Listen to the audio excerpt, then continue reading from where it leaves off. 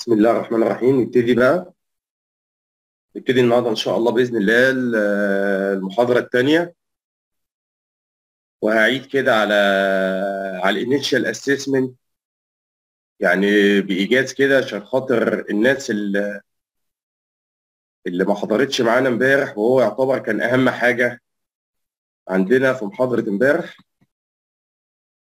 وأنا كنت مدي homework في خلال الأسبوع دوت لكل واحد آه، شغال في مكان يبتدي يعمل تقييم مبدئي لمكانه ويشوف آه، درجة ال sigma level بتاعة المكان بتاعته قد إيه ويقدر يحسبها من خلال القوانين ومن خلال ال calculator sheet اللي أنا شيرتها على ال group. وقلنا لل calculating sigma level وعبارة عن دي بي يو ودي بي أو ودي بي ام أو قلنا إن ال DPU قلنا إن ال DPU اللي هي ال defects per units دي عبارة عن ال number of units عبارة عن ال number of units مش عارف في شاشة كده.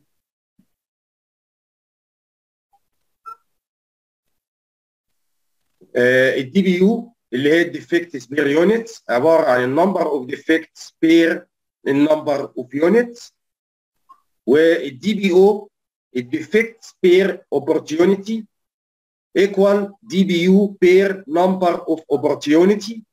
دي قوانين بتاعه ال defects per units وال defects per opportunity. وال DPMO اللي هي ال defects per million opportunity اللي هي equal DPO في آه، 10 اس 6 بعد كده الخطوة الرابعة بنيجي نحسب ال sigma level from sheet calculator اللي هي ديت. اللي إحنا بنحط فيها ال number of units الان وليكن 6 عدد الوحدات بتاعتي اللي أنا قلت ما تقلش عن 30 sample وال total number of defects اللي هي ال D اللي هي عدد ال cross ات اللي أنا بحطها في آه، في الجدول بتاع ال initial assessment ايا كان بقى عدد ال cross ات اللي هي عدد العيوب اللي بتظهر في كل مرحلة خلال ال opportunity بتاعتي. بعد كده عدد ال opportunity نفسها وليكن أنا حاطه في الجدول عندي 11 وال sigma ال sigma shift. اللي هي واحد ونص اللي إحنا قلنا index ده ثابت على كل العمليات بيجي يكتب في ال result تحت النتائج اللي أنا حسبت لها القوانين بتاعتها من شوية اللي هي ديت.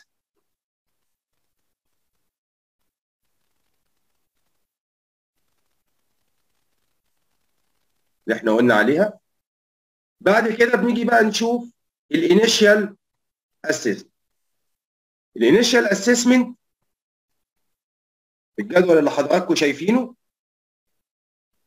ده بقسم ال defects opportunity اللي هي عدد المراحل بتاعة ال process لما يوصل يبقى final product ايا كان بقى ال process اللي عندي دوت مكون من كم مرحلة عشان يبقى منتج نهائي آه بيمر بكذا مرحلة أنا بعد لكذا مرحلة وبحطها في ال opportunities بتاعتي. بعد كده ال number of units اللي هي عدد ال samples اللي أنا آه بختارها. أنا هنا اخترت ستة samples بس آه لما بنيجي نعمل initial assessment ما بيقلش عن 30 sample عشان تبقى ال sigma level بتاعتي دقيقة.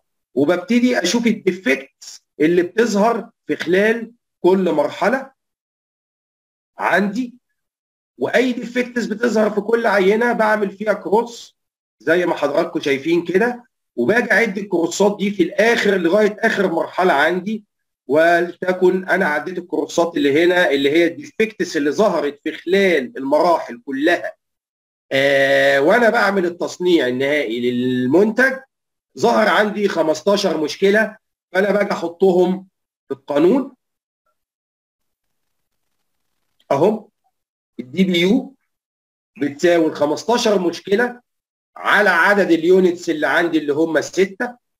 طلع 2.5 defects per unit بعد كده بشوف ال DPO اللي هي بقسم ال DPU اللي هم النتيجة اللي طلعت 2.5 على عدد ال opportunity اللي عندي اللي هي عدد المراحل اللي بتمر بيها ال process ولتكن 11 طلع الرقم اللي هو 227 من 1000 defect per opportunity بعد كده بحسب ال DPMO اللي هي ال defects per million opportunity الرقم اللي هو بتاع ال DPO في 10 اس 6 اللي هو ال 227 من 1000 في 10 اس 6 طلع رقم 227 مليون و272 من 1000 بعد كده بحسب ال sigma level بتاعتي من ال sheet calculator اللي إحنا شفناه من شوية وبحط فيه العدد بتاع ال sample وبحط فيه العدد بتاع ال opportunity وبحط فيه الكروسات المشاكل ال defects اللي حصلت في خلال ال process كاملة يطلع 2.2 يعني دي سيجما 2.2 ونص تقريبا. يعني تعتبر برضو إيه؟ ال sigma level. ما جابتش النص بس هي دي درجة الجودة اللي إحنا آه عرفنا نقيسها هنبتدي بقى نخش النهارده إيه على موضوع جديد اللي هي إحصائيات ال Six Sigma. الإحصائيات بتاعت ال Six Sigma أنا عندي الشكل دوت اللي هو يعتبر المنحنى ده بنسميه اللي هو كل الناس طبعا عارفاه اللي هو ال normal distribution curve. ال normal distribution curve يبقى عندي في انحرافات ولتكن أدي الستة سيجما بتاعتي. أدي الستة سيجما بتاعتي متقسمة زي ما إحنا شايفينها كده. وطبعا أنا عندي وحدة القياس اللي أنا بقيس بيها في الانحراف المعياري زي ما قلنا في المحاضرة الأولى اللي هي السيجما اللي هي ال deviation. السيجما ديت ليها قانون. القانون بيقول إيه؟ بيقول إن الجذر التربيعي يعني ممكن نكتب في ال notes التعريف دوت السيجما هي الجذر التربيعي لأن التعريف أنا ساعات ما بقولوش في ال PowerPoint فبقوله من خلال الشرح يعني. الجذر التربيعي لمجموع انحرافات القيم. عن المتوسط اللي هي عندي سميشن إكس اي ناقص x dash. يبقى دي إيه؟ مجموع انحرافات القيم. يعني تعتبر دي قيمة واحد ناقص قيمة اثنين قيمة ثلاثة ناقص قيمة أربعة. قيمة خمسة ناقص قيمة ستة. وهكذا. يبقى أنا بعمل سميشن كامل لمجموع انحرافات القيم عن المتوسط على عدد القيم ناقص واحد. وطبعا هنشرح القانون ده بالتفصيل في النقطة اللي بعديها نقول الانحراف المعياري. إيه هو الانحراف المعياري؟ نعيده إحنا قلناه برضه في المحاضرة الأولى وهنقوله تاني. الانحراف المعياري يعتبر مقياس لقياس البيانات عن متوسطها الحسابي يبقى إيه هو الانحراف المعياري؟ الانحراف المعياري هو مقياس لقياس البيانات اللي إحنا شفناها في ال normal distribution curve من شوية من خلال جميع القيم وحسابها عن متوسطها الحسابي. يعني إيه الكلام ده؟ يعني أنا لما أقول دلوقتي أنا عندي مجموعة من القيم وهناخد طبعا مثال وهنحله وهناخد تمرين وهنحله وهنفهم الكلام ده بالتفصيل إن شاء الله النهارده. يبقى أنا لما باجي أعمل قياس للانحراف المعياري اللي أنا لسه شارحين المعادلة بتاعته اللي هي سيجما بتساوي الجذر التربيعي لمجموع انحرافات القيم عن المتوسط على عدد القيم ناقص واحد هي دي السيجما بتاعتي. هو ده الانحراف المعياري بتاعي. فلما هنيجي نديله تعريف ونعرفه هنقول هو مقياس لقياس البيانات عن متوسطها الحسابي. ويحسب الانحراف المعياري من خلال إدخال جميع القيم. لازم أدخل ما ينفعش قيمة ولا اتنين. يعني لما أجي أحسب متوسط آه انحراف معياري لمجموعة من القيم ولتكن 100 قيمة هحط ال 100 قيمة. مش هينفع آخد قيمة أو اثنين أو ثلاثة أو أربعة لازم آخد مجموع القيم كلها.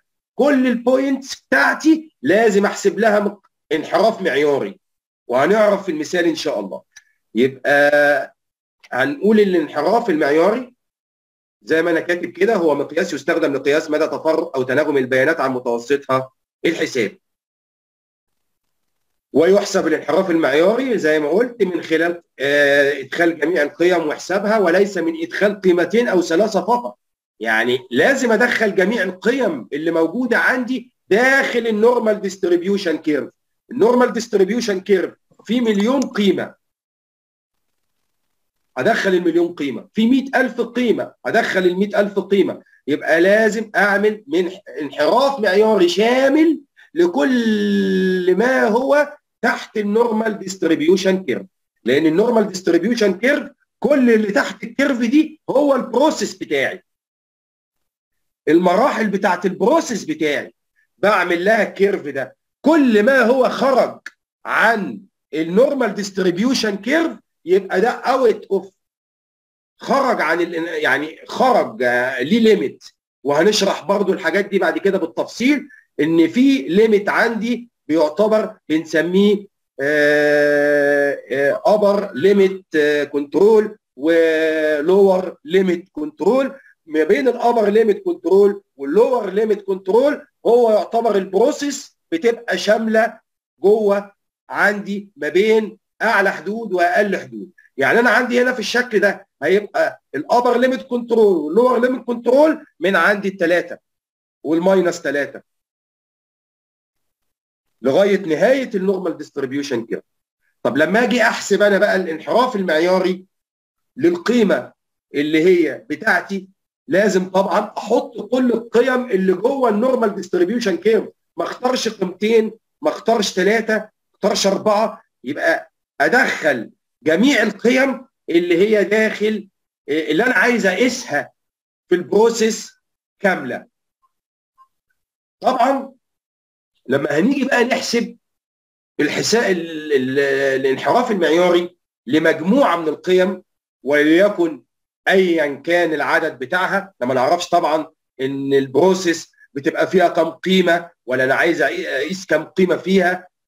ففي خطوات عمل وفي خطوات حسابية هنتمرن عليها النهارده إن شاء الله وهنشوفها وهديكم النهارده تمرين كده نحله مع بعضه نحل مع نحله مع بعضنا يعني.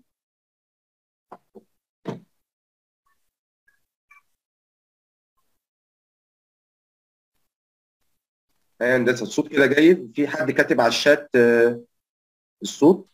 لا الصوت كويس. تمام. هنيجي نحسب الانحراف المعياري بقى المجموعة من القيم اللي إحنا اتفقنا عليها اللي هي داخل ال normal distribution curve اللي إحنا بنحسبها بواسطة القانون اللي إحنا خدناه اللي هو سمشن كلمة سمشن يعني مجموع ايا كانت القيم اللي موجودة ايا كان عددها. هنحسبها ونشوفها اللي هو القانون بتاعنا بيقول إن السيجما بيساوي الجذر التربيعي لمجموعة انحرافات القيم عن مربعات المتوسط على عدد القيم. ناقص واحد. وهنشوف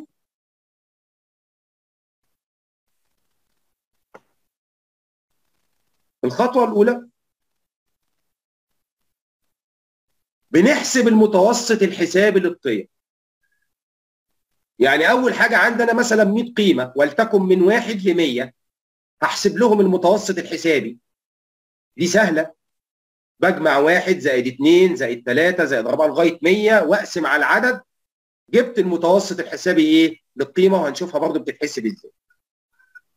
وذلك بجمع القيم وتقسيمها على عدد. يبقى أول حاجة أول خطوة أساسية.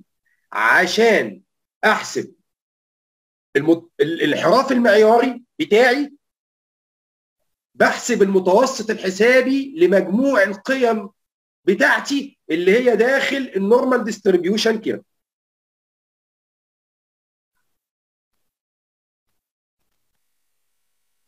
الخطوة الثانية بحسب مقدار الانحراف عن كل قيمة عن المتوسط الحسابي. إزاي الكلام ده يا هندسة؟ وذلك بطرح المتوسط الحسابي عن كل قيمة. يعني أنا مثلا طلعت المتوسط الحسابي. وطبعا لما هنشرح المثال ونطبقه دلوقتي إن شاء الله الكلام ده هيبقى واضح. وفي حاجة هقول لكم عليها تانية اللي أنا هعلمكم النهارده كمان. إزاي تحسبوا الانحراف المعياري مش بال function. آه بس أنا هخليكم تحسبوها كمان على ال Excel. يعني هديكم معادلة. تتحط على ال Excel تجيب لكم الانحراف المعياري لمجموعة القيم اللي أنتوا هتدخلوها من غير الجمع والطرح والضرب والجذر التربيعي والكلام ده. فأنا النهارده إن شاء الله هشرح لكم الطريقتين. بس أنا لازم أقول الطريقة دي والطريقة دي عشان تبقوا فاهمين الانحراف المعياري بيتحسب إزاي؟ ما تجيش تقول لي يا هندسة أنت هتدخل لي المعدات على الإكسل فلا أنا دايما بحب أشرح الحاجة كافية. جت منين؟ المعادلة دي جت إزاي؟ القيم دي جت حسابها إزاي؟ فهنقول إن شاء الله النهارده حساب الانحراف المعياري عن طريق المعادلات وعن طريق الإكسل. وهنشوف الكلام ده بمثال دلوقتي. فهنشوف الخطوة الثانية هنحسب مقدار الانحراف عن كل قيمة عن المتوسط الحسابي وذلك بطرح المتوسط الحسابي عن إيه؟ كل قيمة. الخطوة الثالثه بنربع انحراف كل قيمة عن حد على حدة. يعني كل قيمة طلعت معايا بقوم مربعها. دي تربيعها كذا دي تربيعها كذا وهنشوف دلوقتي في المثال اللي جاي. وآخر حاجة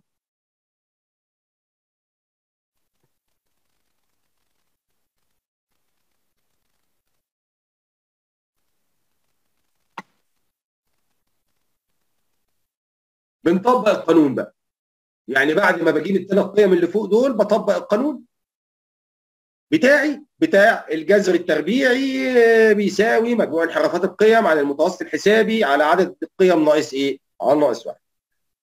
فهنشوف المثال اللي جاي إن شاء الله وهتفهموا أنا قصدي إيه من حساب الانحراف المعياري. أنا عندي مجموعة قيم زي ما حضراتكم شايفينها أهي طالب أنا فيها حساب الانحراف المعياري للخمس قيم دول. 25 و30 و35 و40 و55 أحسب الانحراف المعياري للخمس قيم دول إزاي؟ هنطبق الخطوات وبعد كده نعوض في القانون ونشوف الانحراف المعياري بتوع الخمس قيم دول هيتحسب إزاي؟ وبعد كده هشرح لكم إزاي نحط القيم دي على الإكسل ونجيب الانحراف المعياري على طول من غير قوانين وضرب وطرح وقسمه وجذر والكلام ال... وكل واحد طبعا ليه مطلق الحرية اللي هو إيه يبقى يبقى فاهم الكلام ده جه إزاي بالحسابات وبعد كده يفهم لو هو مثلا يعني عايز يخلص الموضوع بسرعة وعايز يحسب الموضوع بسرعة فيضطر يرجع للإكسل ويحط القيم ويشتغل. فهنشوف أول خطوة عندي إيجاد المتوسط الحسابي جمعت الخمس أرقام زي ما حضراتكم شايفين. 25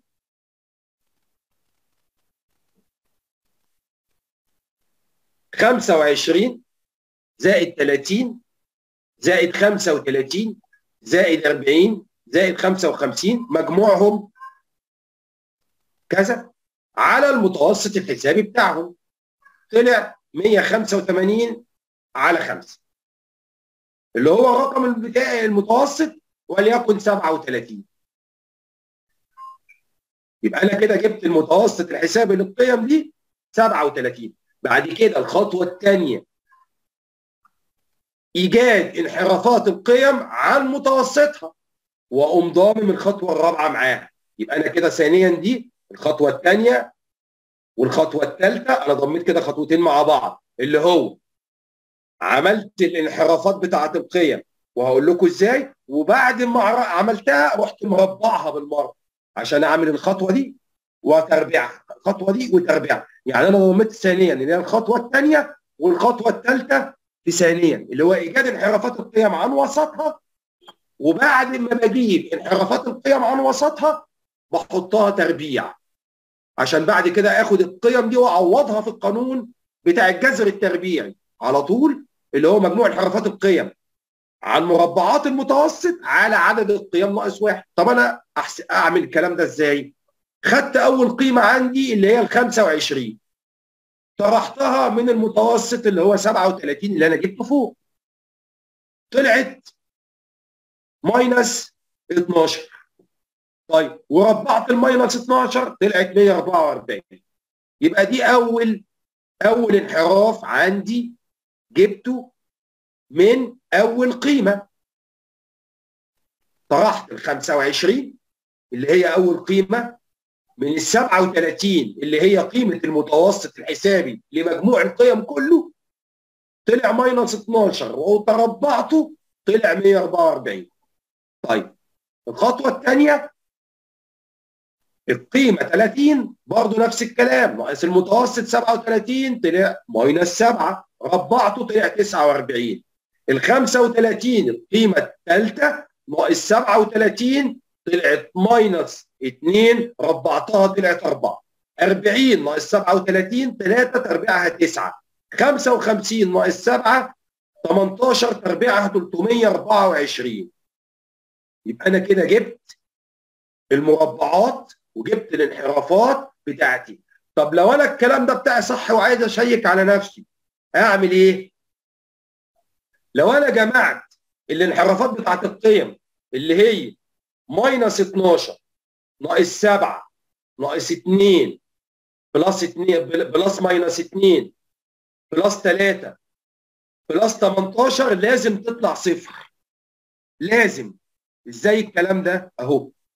لما باجي بعمل مجموع الوسط ده يعني لو جيت جمعت دلوقتي minus 12 زائد minus 7 هيبقى minus 19 زائد minus 2 هيبقى minus 21 زائد 3 مع 18 21 minus مع plus طلعت صفر. يبقى أنا أعرف كده إن خطواتي صح. مفيش مشكلة عندي. يبقى لازم لما أجي أعمل check كده على الخطوات بتاعت مجموع الوسط الحسابي لازم تطلع القيم دي مجموعها بصفر. كلها. بعد كده باخد الحاجات اللي أنا مربعها دي اللي هي القيمة الأولى minus 12 لما جيت عملت لها التربيع بتاعها والقيمة الثانية minus 7 لما جيت ربعتها أجمع ال 144 زائد 49 زائد 4 زائد 9 زائد 324 طلعت 530 يبقى أنا لما جمعت الوسط الحسابي طلع بصفر. ولما جمعت التربيع طلع ب 530 طبعا الكلام ده هنستفاد بيه فين؟ لما أجي أعوض بقى في القانون. اللي إحنا لسه واخدينه اللي هو قانون الانحراف المعياري. يا ريت الناس تبقى حافظة القانون أو تفهمه. لأن أنا ممكن أخش على ال Excel وأحط القيم وأعمل ال standard deviation equal خلاص المعادلة جت خلاص جبت الناتج. بس لما الناس بتبقى فاهمة قانون وبازاي بعوض فيه وجه منين وطريقته إزاي بيبقى احسن يعني يعني بتبقى فاهم يعني نطبق بقى في قانون الانحراف المعياري وهو الجذر التربيعي لمجموع مربعات انحرافات القيم عن المتوسط على عدد القيم ناقص واحد هيساوي الجذر التربيعي اللي هو إيه؟ إحنا خدنا مجموع مربعات القيم اللي هو 530 على عدد عدد القيم ناقص واحد أنا عندي كم قيمة؟ واحد اثنين ثلاثة أربعة خمسة. يبقى خمسة ناقص واحد أربعة. يعني أنا عندي كده القيم بتاعتي 132 ونص. أحط الكلام ده تحت الجذر. مش هو الجذر التربيعي؟ طب الجذر التربيعي ل 132 ونص طلع إيه؟ 11 11 11 ونص تقريبا يعني. طيب. يبقى اذا الانحراف المعياري أنا جبت 132 أهي الجذر التربيعي ليها طلعت 11 ونص. يبقى ده استخدام القوانين أو القانون في حساب الانحراف المعياري بالخطوات اللي أنا شرحتها دي. في بقى أنا كاتب هنا تحت ال standard deviation بيساوي كده لو أنا عايز أحسب الكلام ده على ال Excel هندسة إحنا ما عندناش دماغ إحنا بنيجي من الشغل تعبانين. إحنا لو في الشغل عايزين نحسب الانحراف المعياري لل process عندنا لسه هنقعد نجمع ونطرح و... ونعمل قيم ونحط تحت جذر و... إحنا عايزين حاجة سهلة إيه؟ تخلص. في ناس كده يعني ما عندهاش وقت فعلا. أمال ال Excel دوت يعني اتعمل عشان السرعة عشان الحاجات دي. وهنشرحه بالمرة دلوقتي.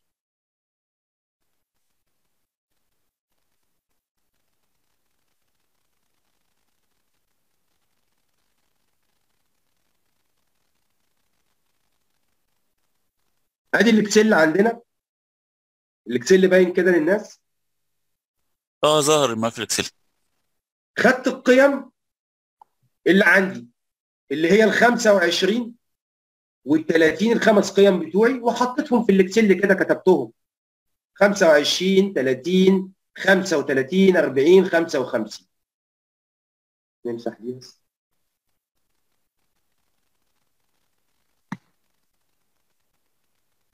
طيب أحسب إزاي الانحراف المعياري للقيم دي؟ باجي عند الخانة اللي تحت بعد ما أكتب القيم باجي عند الخانة اللي تحت. باجي بعمل equal طبعا أنتوا عارفين الناس كتير قوي فاهمة في ال Excel. بتعمل equal عشان تدخل ال function بتاعتك على طول أو الدالة اللي عندك. وبتيجي تكتب ال standard deviation. أهي. ST فبتظهر لك كل اللي في ال STD وبتختار ال standard deviation اللي هي ال function دي. اهي وبتيجي تعلم على المجمو... الخمس قيم اللي انت شايفهم. وتقفل القوس بتاعك. طلعت ال 11 ونص. مفيش ثلاث ثواني. خدتش معانا ثلاث ثواني. بدل ما أقعد أجمع وأطبق في القانون وأجيب الجذر التربيعي وأعمل بدخل بحسب الانحراف المعياري بتاعي على ال Excel أدخل القيم وبعد كده بعمل equal وأختار ال standard deviation وأعلم على الم... وأعلم على القيم ولتكن 100 قيمة 1000 قيمة زي ايا كانت القيم وأقفل القوس بتاعي بالبداية والنهاية وأعمل إنتر جاب لي على طول ال 11 ونص من غير أي حسابات. فدي بالنسبة لل دي بالنسبة لل لو عايز أحسب الستاندرد اللي هي قيمة المجموع الانحراف قيمة الانحراف المعياري أو بتاعي الانحراف المعياري للقيمة عن طريق الاكسل.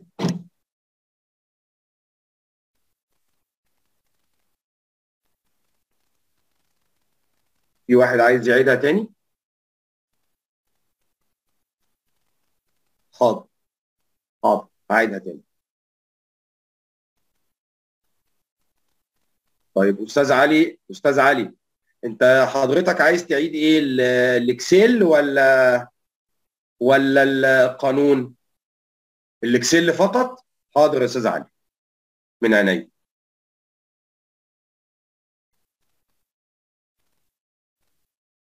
بص أستاذ علي.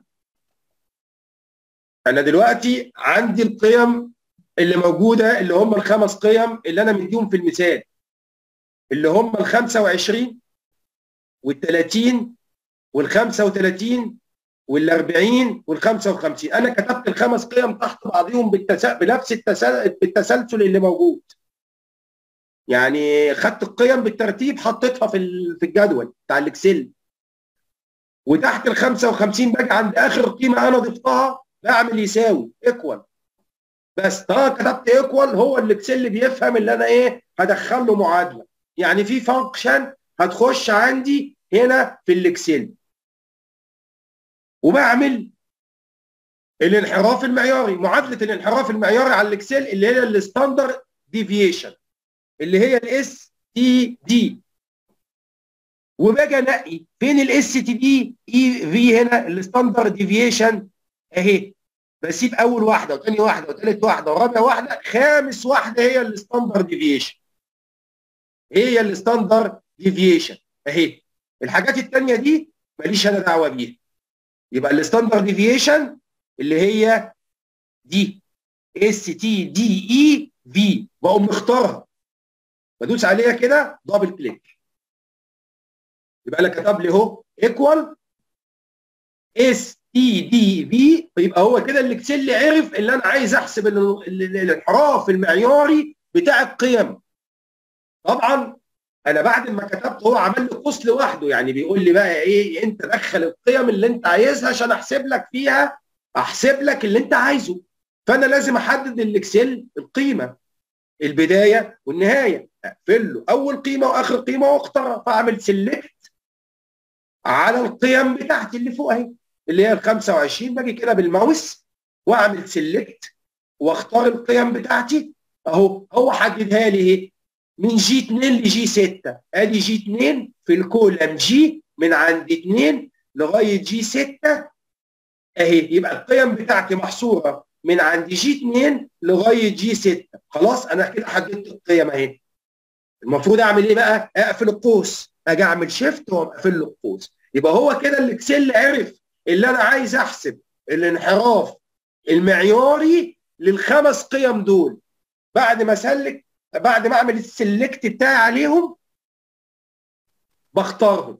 وبعمل انتر بيجيب لي قيمة الانحراف المعياري على طول زي ما أنت شايف 11.51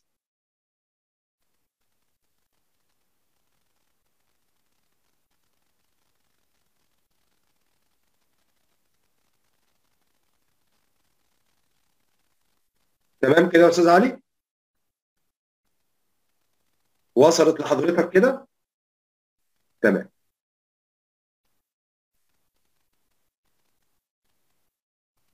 شكرا. نرجع بقى لموضوعنا تاني. نفتح الباوربوينت أنا بقى هنا عايز اديكم سؤال بقى.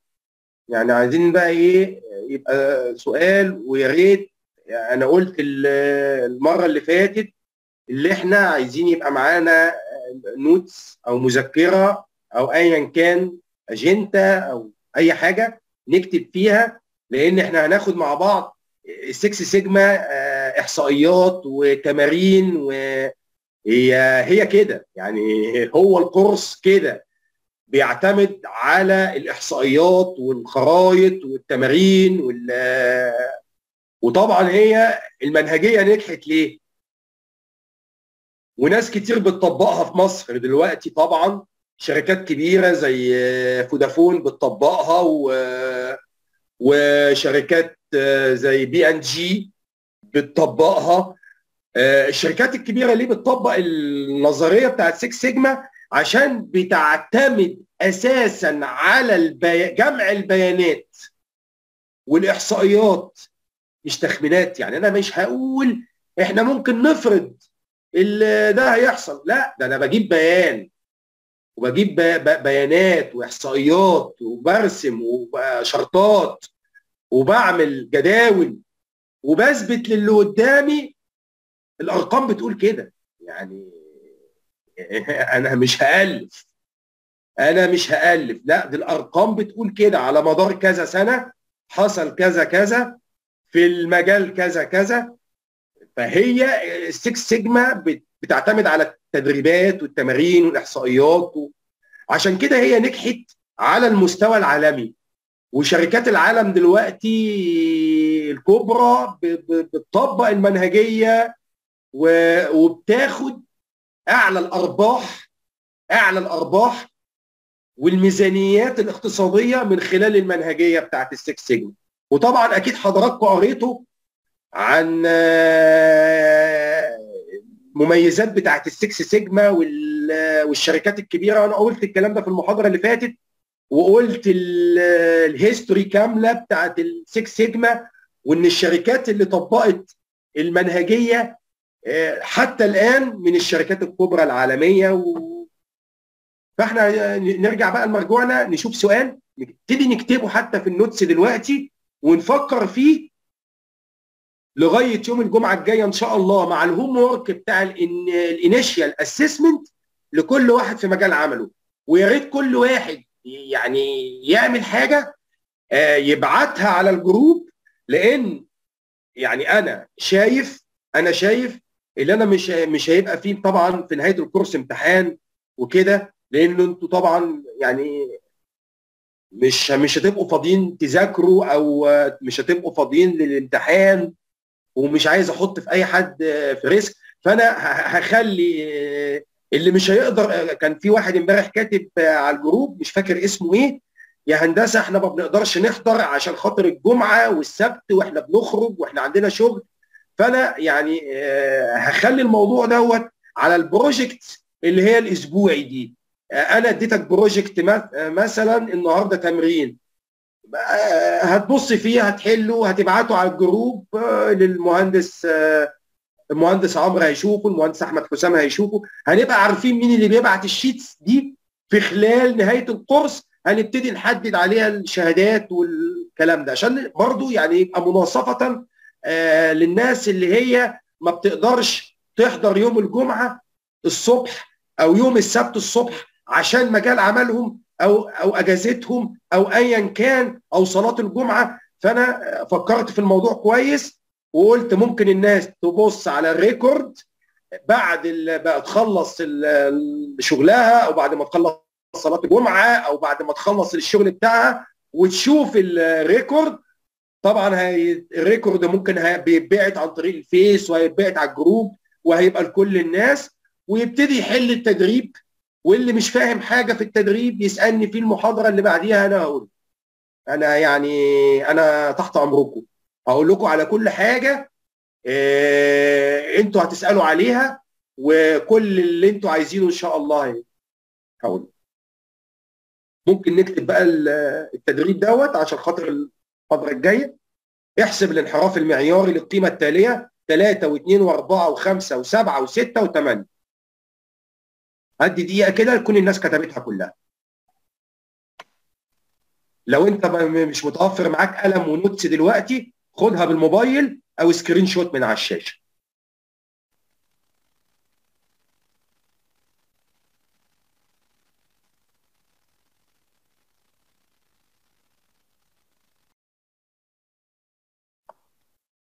احسب الانحراف المعياري للقيم التالية.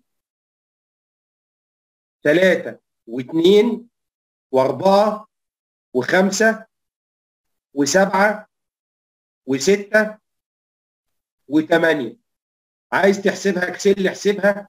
عايز تحسبها من خلال القوانين والخطوات الأربعة اللي إحنا قلنا عليهم. شوف انت إيه اللي يناسبك. المهم أنا عايز قيمة. عايز ناتج. result يتحط.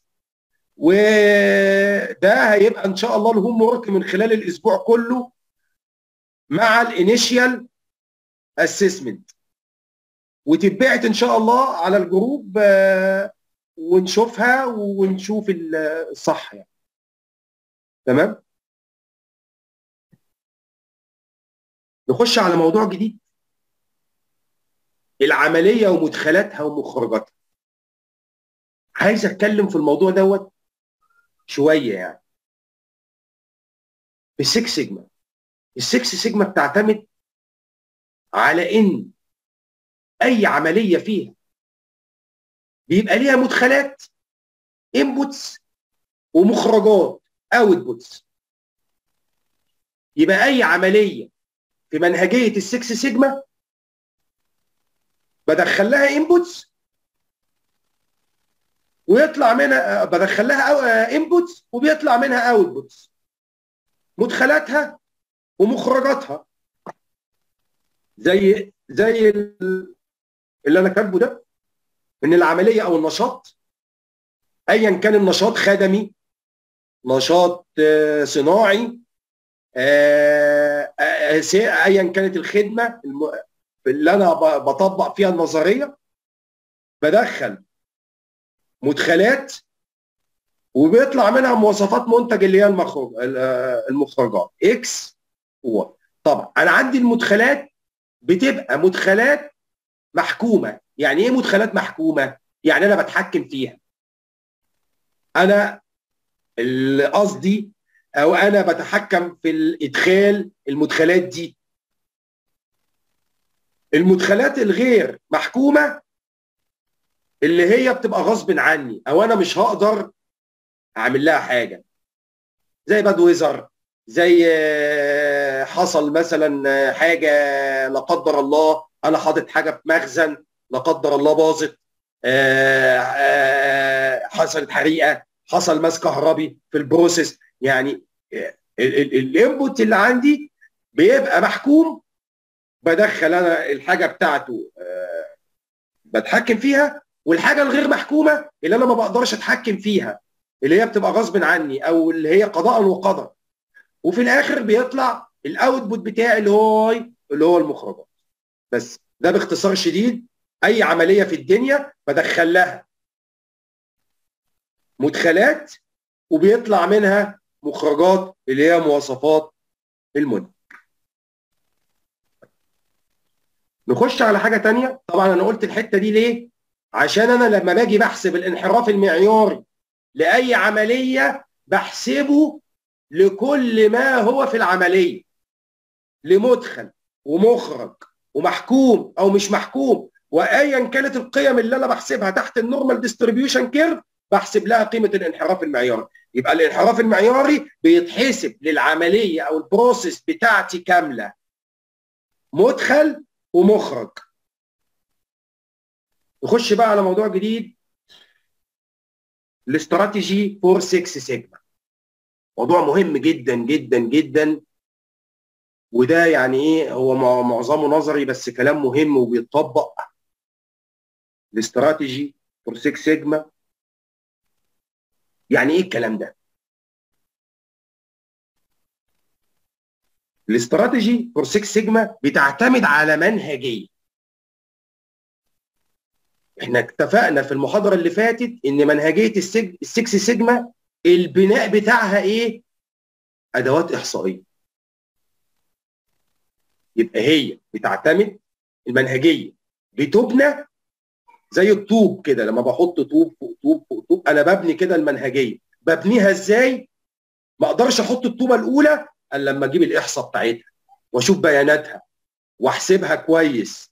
بعد لما أتأكد اللي هي safe بقوم حاطط الطوبة الثانية أتأكد من الطوبة الثانية اللي هي safe عن طريق بقى إيه بحسب بقى, ب check بقى عليها وأشوفها وبتاع ببتدي أرص أروح لغاية لما أعمل البناء الكامل بتاع الإيه؟ ال Six Sigma. هي دي ال strategy. for 6 سيجما. يبقى هي بتبنى على الأدوات الإحصائية. المتقدمة مش أي أدوات كمان دي أدوات متقدمة. وخرائط توضيحية يعني أدوات إحصائية متقدمة وخرائط توضيحية. الهدف النهائي إيه؟ من الخرائط والإحصاء والبناية ديت تحسين مستوى جودة العمليات والمنتجات والخدمات. يبقى الاستراتيجي فور 6 سيجما بتعتمد على الأدوات الإحصائية المتقدمة والخرائط التوضيحية اللي هما الاثنين هدفهم في النهاية اللي أنا بعمل improve للجودة شاملة بتاعت ال process سواء كان للمنتج أو للخدمة أو للسلعة أو لل... لايا كانت اللي أنا بعمل له ال- المنهجيه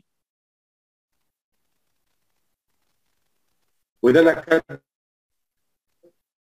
هي بتعتمد على منهجية بن- بنائية تضم الأدوات الإحصائية المتقدمة والخرائط التوضيحية ليتم توظيفها بشكل متكامل لتحسين مستوى جودة العمليات إيه؟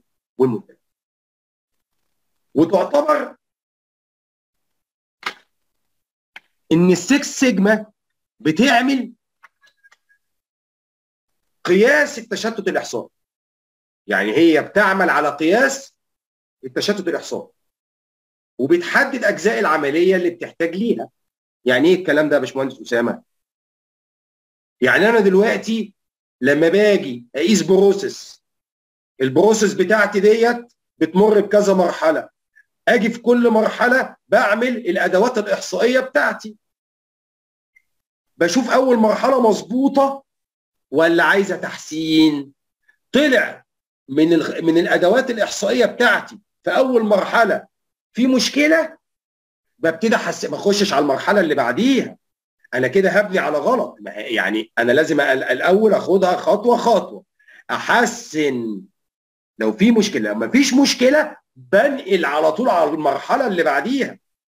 ما فيش مشكلة في المرحلة اللي بعديها. بنقل على المرحلة اللي بعديها. في مشكلة ظهرت قصادي. أنا مش أنا لازم أعمل لها ستوب أقف بقى. مش هكمل أنا بقى ال ال الإحصاء هنا. عملت في هنا بيانات طلعت مش مظبوطة. الإحصاء بينتها اللي هي مش مظبوطة. خلاص. أنا لازم أقف. لازم أقف. وأصلحها. واعدلها وبعد كده احسنها وبعد ما اتأكد اللي هي اتحسنت. وراجعها ابتدي انقل على المرحلة اللي بعديها اللي بعديها إن شاء الله. يبقى كده دلوقتي هي قياس التشتت الإحصائي وتحدد الأجزاء العملية اللي بتحتاج إلى تحسين عن طريق. في طرق كتير بقى. حوالي ست طرق. الست طرق دول اللي أنا بعمل بيهم التحسين. طيب بعمل التحسين إزاي؟ أول حاجة لازم أقيس اللي أنا لسه شارحها من شوية. قياس ال ال البروسيس بيبقى فيها مدخلات ومخرجات. يبقى أنا لازم أقيس المدخلات والمخرجات والفاعلية. يبقى أنا أقيس المدخل والمخرج والفاعلية. يبقى أول نقطة عندي إيه؟ لكل مرحلة قياس المدخلات والفاعليات والمخرجات لل process. قياس المدخلات والفاعلية والمخرجات لل process. حلو الكلام؟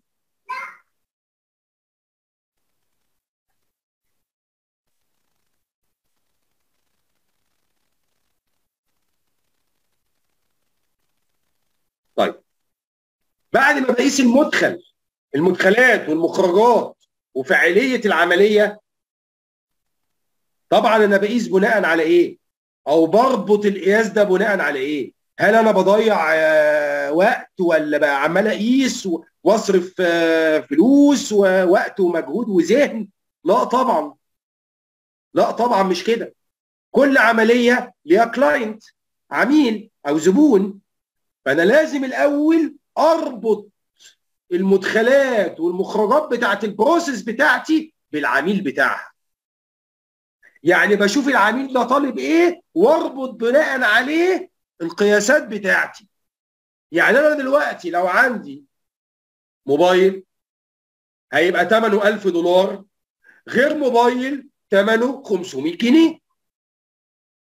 اللي هيشتري الموبايل أبو 1000 دولار عميل أو زبون معين فأنا لازم أقيس المدخلات والمخرجات بتاعت الموبايل اللي ثمنه 1000 دولار أطبق عليه قياسات عالية الجودة عشان ثمنه وعشان ال client اللي هيست... اللي هيشتري الموبايل دوت هيدفع فيه مبلغ كبير غير القياسات الثانية بتاعة الموبايل اللي هو ثمنه 500 جنيه. يبقى أنا لازم أربط ده بمتطلبات العميل.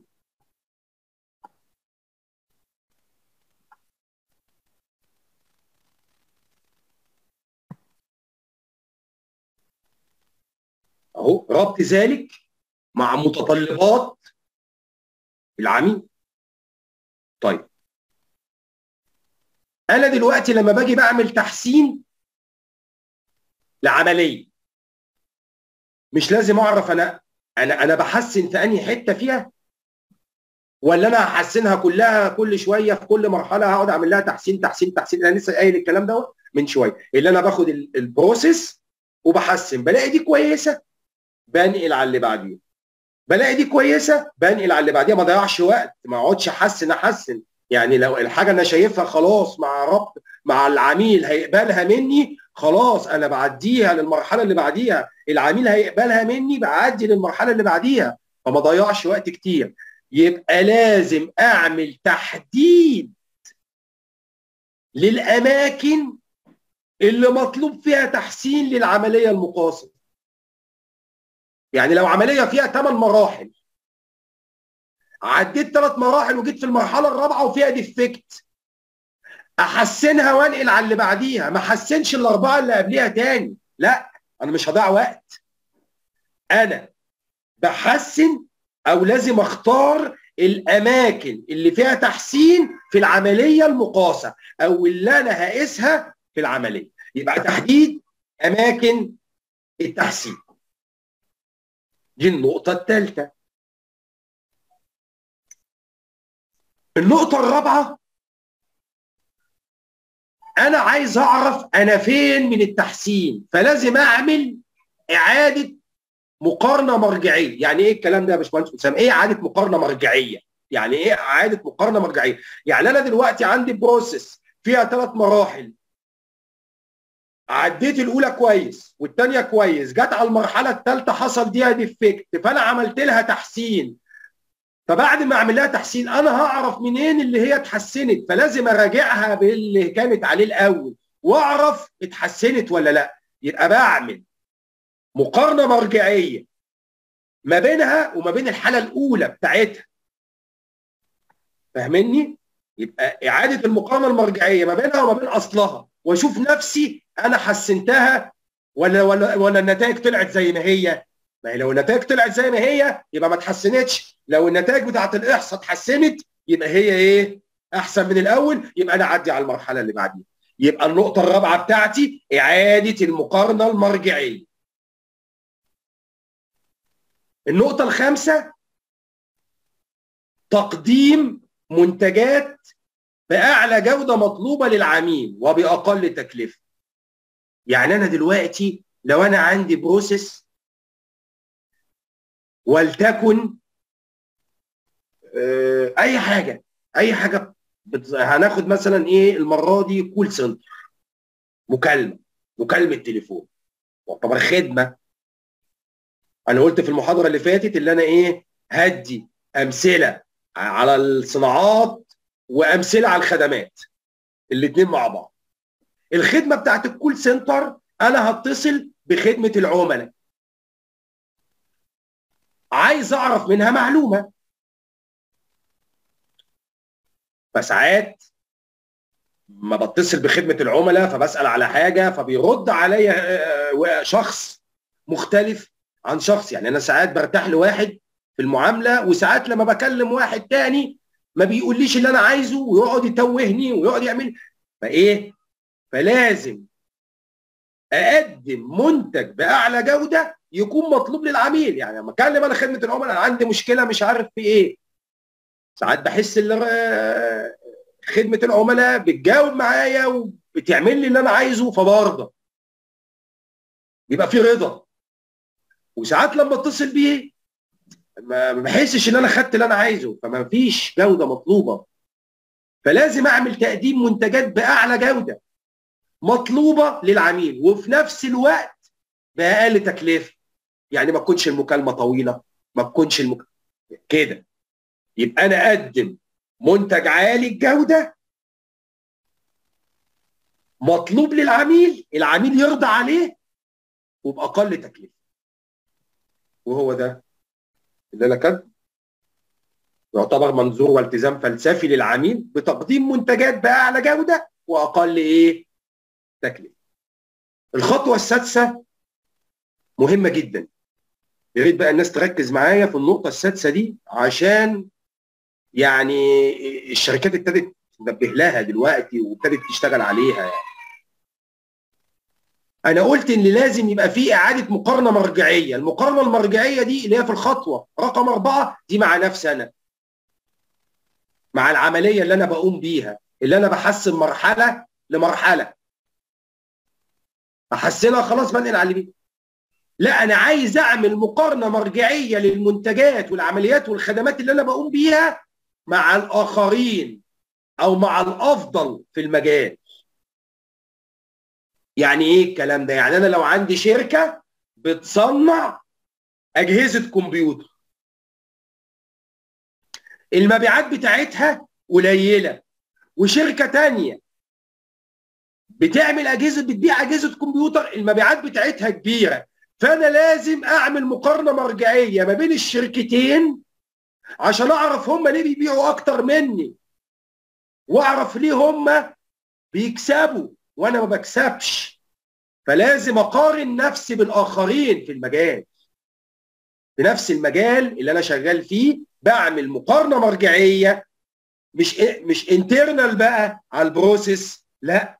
بتبقى external على الآخرين اللي شغالين في المجال بتاعي. ودي نقطة مهمة جدا جدا جدا. اللي أنا لازم أقارن نفسي أو منتجي أو خدمتي للآخرين. يبقى عمل مقارنة مرجعية للمنتجات والعمليات مع الأفضل في المجال. نشوف الأفضل في المجال مين؟ اللي في نفس المجال اللي أنا شغال فيه. أشوف الأفضل مين؟ وأقلده. واشوفه هو عمل إيه؟ وطبق إيه؟ ونظرياته إيه؟ وجاب مين يشتغل عنده وباع إزاي؟ وأبتدي أطبق ده عشان أوصل ليه أو عشان أبقى زيه. ما أفضلش على الوضع اللي أنا اللي أنا شغال عليه. وهو يبيع وأنا أخسر.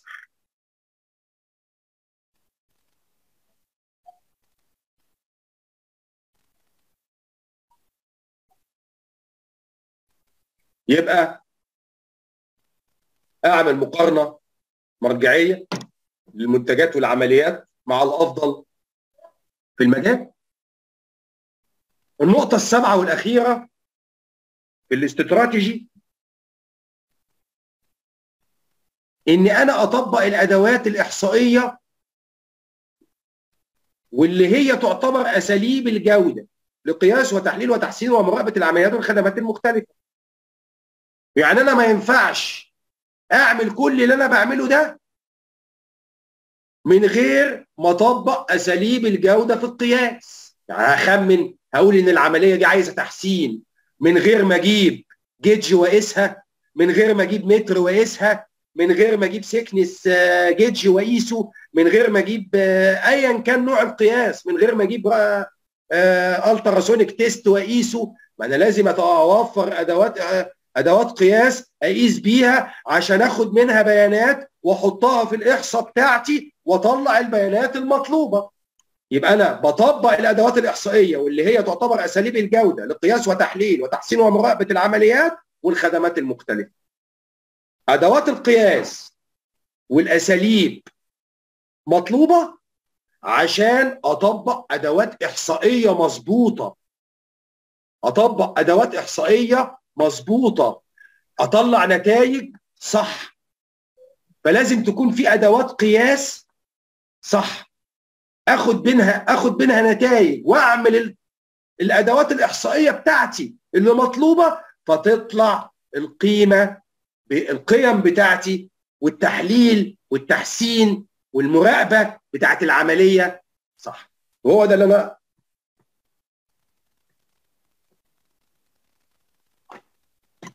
قلت عليه اللي هو تطبيق للأدوات الإحصائية وهي أساليب الجودة لقياس وتحليل وتحسين ومراقبة العمليات والخدمات المختلفة. وطبعا إحنا الأدوات الإحصائية دي هنعرفها بالتفصيل بالتفصيل إن شاء الله بإذن الله في في المحاضرات اللي بعد كده إن شاء الله المحاضرة الجاية هندي الحاجات دي ولما نخش في ال DMAIC هندي الحاجات دي بقى بالتفصيل وهنشرح إزاي بتتعمل. الأدوات الإحصائية كتير باريتو ال histogram وال fishbone diagram و وال scatter diagram وال matrix وحاجات كتير قوي قوي قوي هناخدها إن شاء الله وهتفهموها إن شاء الله وهتطبق إن شاء الله. واحد كاتب أستاذ ياسر. هل ينفع تطبيق الستة؟ لا أستاذ عبده هل ينفع تطبيق الستة سيجما على مشروع إنشائي؟ طبعا. ايا كان. ايا المشروع بيتطبق على أي حاجة خدمية أو أي حاجة صناعية أو إنشائية؟ طبعا. السكس سيجما بتطبق في المدارس في المستشفيات في مكاتب البريد في كل مجال موجود البنوك. كان معانا واحدة كانت بتاخد معانا كورس ال green كانت شغالة في بنك. وعملت المشروع بتاعها في البنك. ووفرت في الوقت ال waiting بتاع ال call بتاع ال call center نص الوقت. من خلال المشروع بتاعها. يعني المشروع بتاعها reduce long reduce long cycle time في في الخدمة بتاعت العملاء. يعني قصدي أقول لك يا أستاذ عبده إن مشروع تطبيق ال Six Sigma في كل حاجة يعني مش مش في المشاريع الإنشائية لا ده في كل حاجة. مثال مبسط على الفرق بين ال unit وال opportunity أنا شرحتها دي بالتفصيل أنا شرحتها الأسبوع اللي فات في الجدول بتاع ال initial assessment والأسبوع ده. فأنا ممكن أبقى أشرحها تاني على ال group يعني عشان الوقت بس.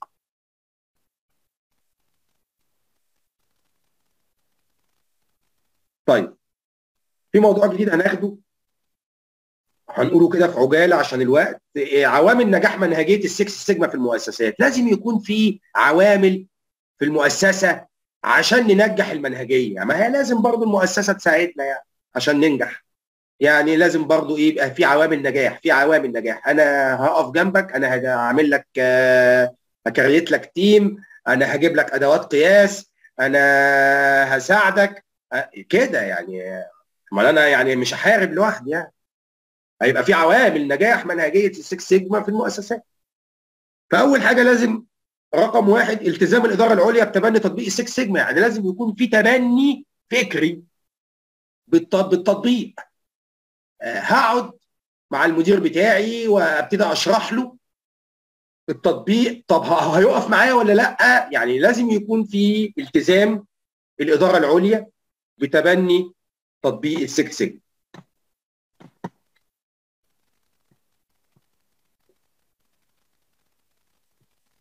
يبقى التزام الاداره العليا بالمؤسسة بتبني تطبيق السكس دي اول نقطه النقطة الثانية المؤسسة لازم تدرب عمال ولازم تدرب ناس عندها عشان ينفذوا المنهجية بشكل فعال. يعني أنا أختار اتنين تلاتة كده من عندي يكونوا كويسين في كل شركة وابتدي أهلهم اللي هم يطبقوا المنهجية بتاعت السكس سيجما. سواء كانت المنشأة صناعيه أو تجارية أو خدمية أو صحية أو تعليمية ايا كان. ف يعتبر لازم تدرب ناس عشان عشان الناس تبتدي تشتغل على الأسلوب بتاع المنهجية وتطبيقها وتفهم ده وتفهم ده يبقى يجب أن يكون تدريب العمال العاملين كافة من أجل تنفيذ إيه؟ السكس سيجما على نحو فعال.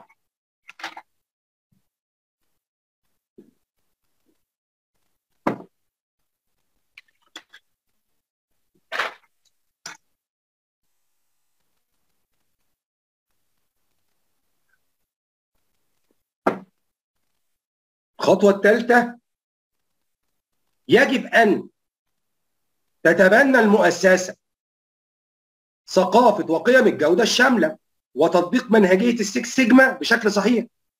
يعني لازم يبقى في تبني كده للموضوع وتطبيق المنهجية على أكمل وجه.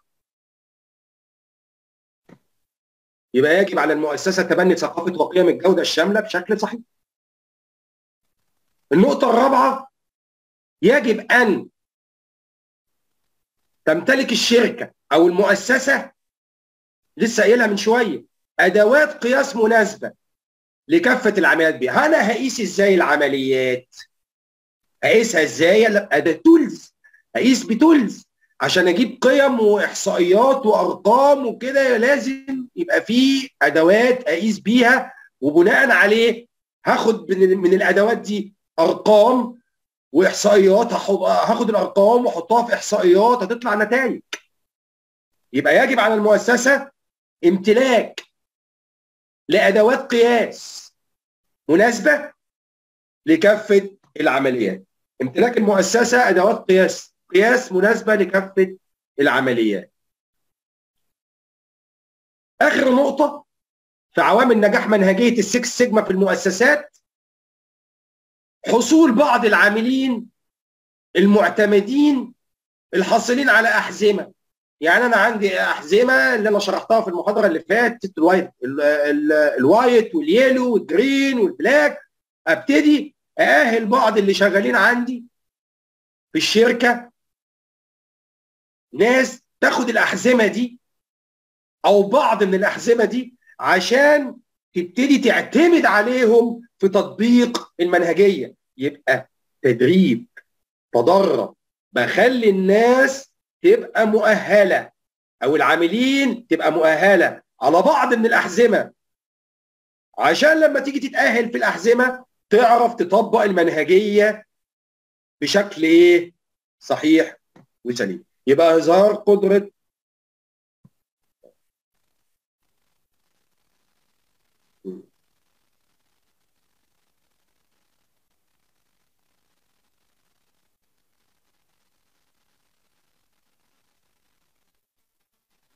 تمام.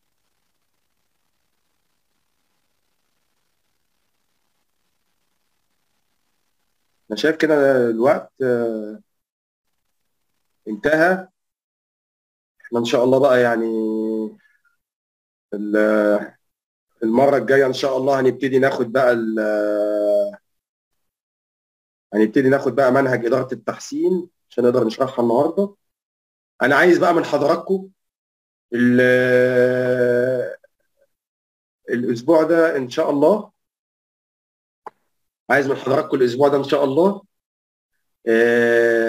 ال initial assessment لكل واحد شغال في مجاله. ال initial assessment قلت كتير اللي هو موضوع مهم جدا. وعايز كل واحد يبتدي يطبق في مجال عمله. هو فين؟ من من ال sigma level والت- والتمرين اللي أنا اديته النهارده. آه، القيم اللي هو السؤال دوت. السؤال دوت.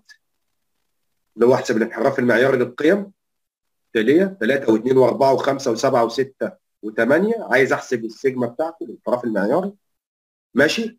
ونفكر في الحاجتين دول في في خلال الأسبوع دوت. نبتدي نعمل تطبيق عملي بإيدينا ونحسب ال initial assessment وابتدي نشوف السؤال دوت آه، ونحسب الانحراف المعياري ون آه، ونقدمه على الجروب.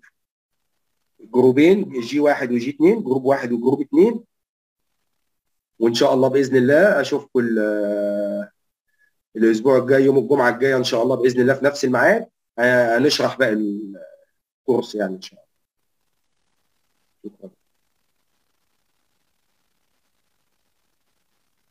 باشمهندس عمرو شكرا جزيلا باشمهندس اسامه جزاكم الله خيرا. آه، أتمنى لو حد عنده أي سؤال آه، لو في أي حد عنده سؤال يقول لي عليه دلوقتي.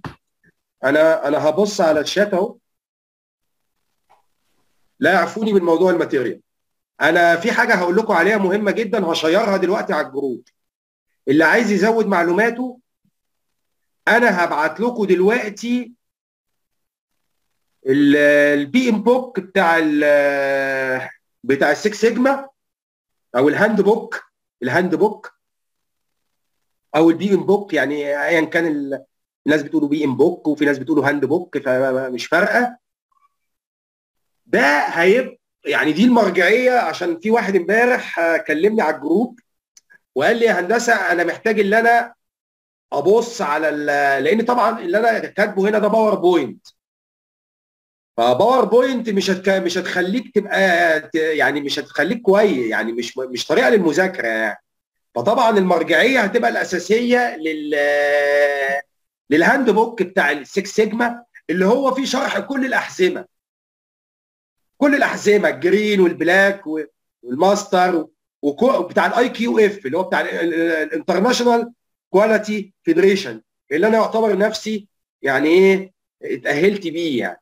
فده يعتبر حاجة دولية آه، بيتعمل بيتعمل بيها في هشيره دلوقتي على الجروب بعد انتهاء المحاضرة إن شاء الله. وده هيكفي لل material اللي كل الناس بتتكلم عليها وكل الناس محتاجاها. إنما أنا ما أقدرش أديك PowerPoint طبعا يعني عفوني من الموضوع ده. ال PowerPoint بتاعتي دي بتاعتي أنا. انت عايز آه، تزود معلوماتك وتذاكر وتعمل أنا اطلع لك المرجع وانت تفتح المرجع وتبص فيه وتطلع الداتا وان شاء الله يعني هت- هتستفاد. اي حد تاني عايز يسأل اي حاجة؟ ما المقصود بأدوات القياس؟ أدوات القياس يعني أكيد يعني الناس كلها عارفة أدوات القياس. يعني المتر الجيج أدمة أنجل سواء كانت أدوات آه، مانيوال أدوات قياس تانية بتبقى سيمز جيج يعني أدوات القياس اللي موجود اللي بنقيس بيها أي بروسيس آه، في لو أدوات قياس بنقيس بيها خدمة بتبقى عن طريق آه، آه، أدوات آه، إحصائية أو بنعمل زي زي استبيان للبيانات أو بنجيب بيانات قديمة ب- بنبتدي ناخد ريفرنس ليه لينا بتبقى أكيد م- م- موجودة في الأرشيف بالنسبة للخدمات. لو في أدوات قياس طبعا اللي أنا قلت عليها ديت كل الناس طبعا عارفة أدوات القياس بمختلف أنواعها وهو ده المقصود بأدوات القياس يعني. وبعدين بتبقى برامج فقط ومعدات بتبقى الاثنين أنا ممكن أعمل أدوات قياس ببرامج في الخدمات وممكن أعمل زي مثلا ال call center مكالمات التليفون. أنا عايز أعرف إن كم مكالمة نجحت وكم مكالمة فشلت فبيبقى في فبيبقى في استبيان كده لمدة سنة للموظف دوت أو العامل دوت في المكان دوت هو مكالماته جه عليه comment ات قد إيه جه ما جاش عليه شكاوي قبل كده فبيبقى يعني استبيان. ال- اللي عايز بيسأل عن ال opportunity وال unit ال opportunity اللي هي مراحل ال process مراحل ال process وال unit اللي هي ال sample اللي هي العينات اللي أنا باخدها. ده اللي سائل عن ال- اللي بيسأل. وطبعا أنا جاوبت اللي في مجال الإنشاءات. طبعا المبنى كله بالكامل. نعمل له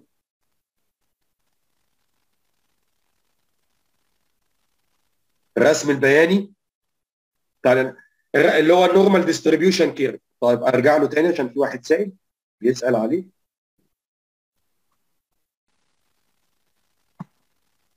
ال normal distribution curve كل اللي تحت ال curve ده ال process بتاعتي اللي أنا بقيسها. باختصار شديد.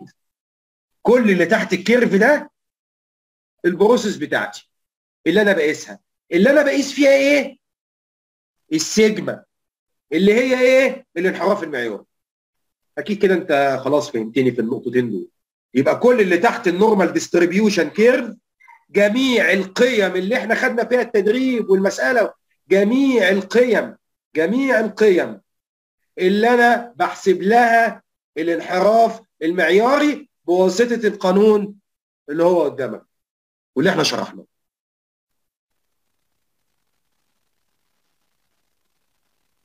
كده اللي كان بيسأل على ال- الكيرف آه، فهم اللي آه، اللي كان بيسأل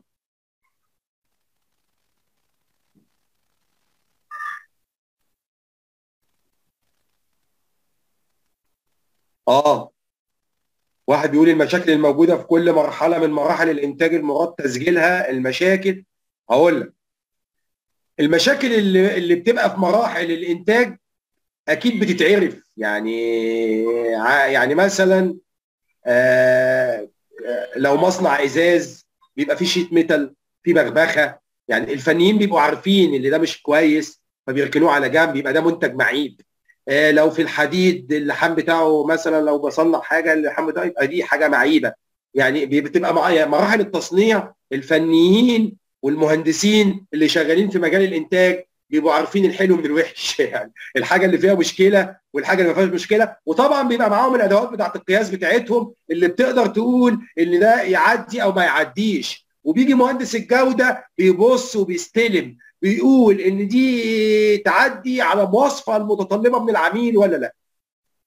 فأنت كده متهيألي فهمت ال... الإجابة نبعتها على الرابط بتاع الواتس على جروب واحد وجروب اتنين.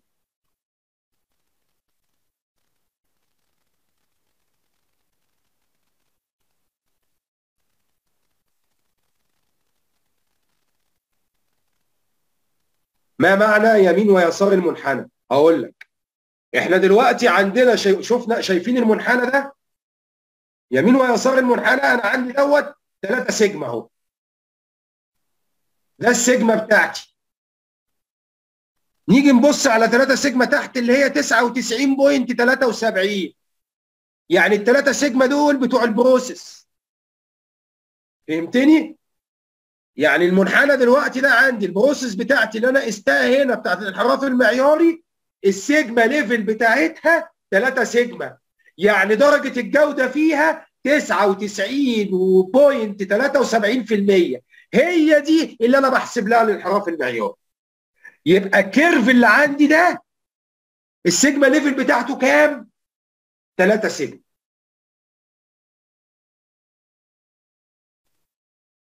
فهمتها؟ بالنسبة للي كاتب ما معنى يمين ويسار المنحنى؟ يمين ويسار المنحنى اللي هي ال sigma level sigma level بتاعتي لا إما بال minus لا إما بال plus. هو المنحنى واقع في المنطقة دي.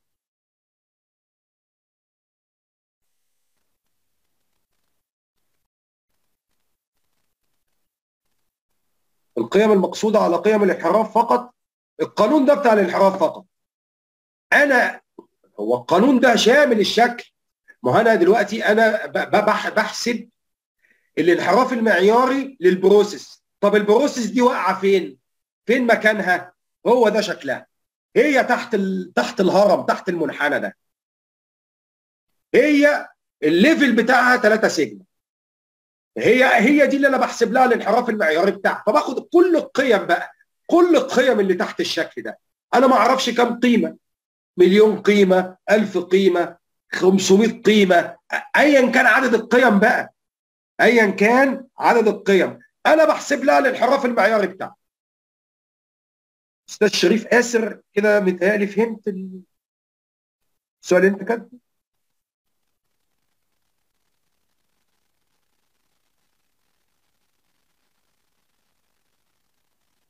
طيب في حد تاني عنده أسئلة؟ أنا كده جاوبت على كل الأسئلة اللي في الشات. في حد تاني عنده أسئلة؟ باشمهندس عمرو. شكرا جزيلا جزاكم الله خيرا باشمهندس اسامه الله إن شاء الله نلتقي بإذن الله يوم الجمعة القادمة بإذن الله في نفس الميعاد. إن شاء الله الجمعة الجاية في. نفس الميعاد. إن شاء الله بإذن الله. جزاكم الله خير جزاكم الله خيرا. شكرا جزيلا وبالنسبة للمحاضرات هي المحاضرات كلها بتتسجل بترفع على قناة باب ارابيا وعلى على اليوتيوب وعلى الفيسبوك إن شاء الله.